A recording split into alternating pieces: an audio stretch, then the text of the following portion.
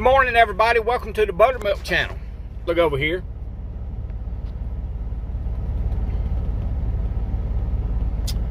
It's a snowing.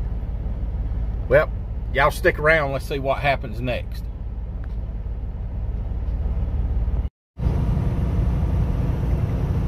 Dash camera.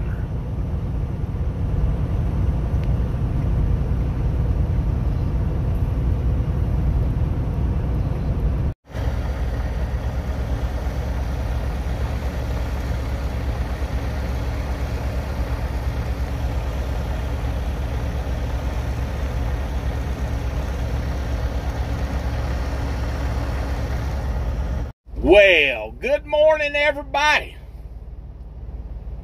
I think I might snow now. Thank you for stopping by the Buttermilk channel. Please take a minute to uh, like, share, and subscribe. Uh, I got some things to show you this morning. You see how that truck's parked there? That's how I got in my parking spot. I come around and backed up in this parking spot. Whoop, whoop, whoop. Hang on. Everybody, hang on. Come on. That truck's parked there. And you notice there's... I hope y'all can see that. There's probably... I know there's enough room to get um, um, one truck beside me, but nobody's never parked over there if you know where I'm at, I'm up here Indiana, exit 16 off of 275.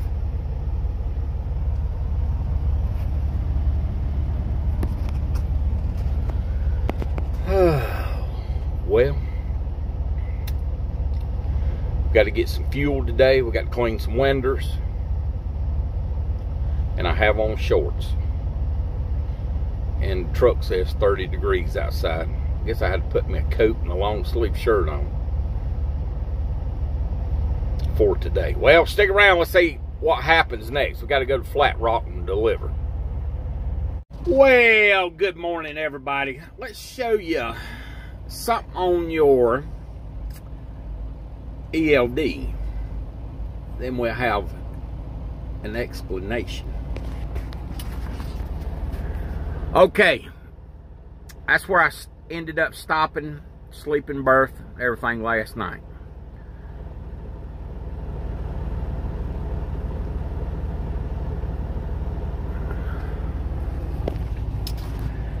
I started, let me get this thing over here in this holder so you can see, see how beautiful I, I got to change my shirt and all this morning. I haven't got motivated yet. Still sitting here drinking coffee.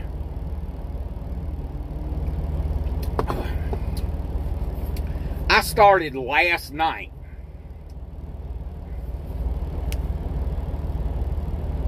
Almost two and a half hours going in and out truck stops from around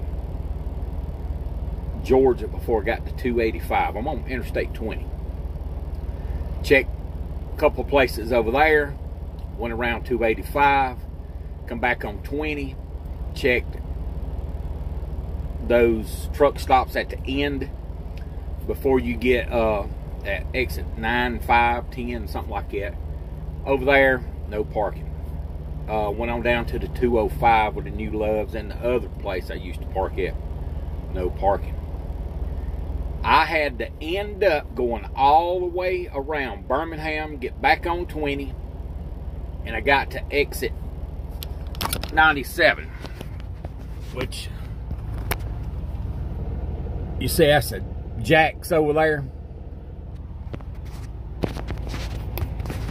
Ended up parking at the Jack's truck parking over here.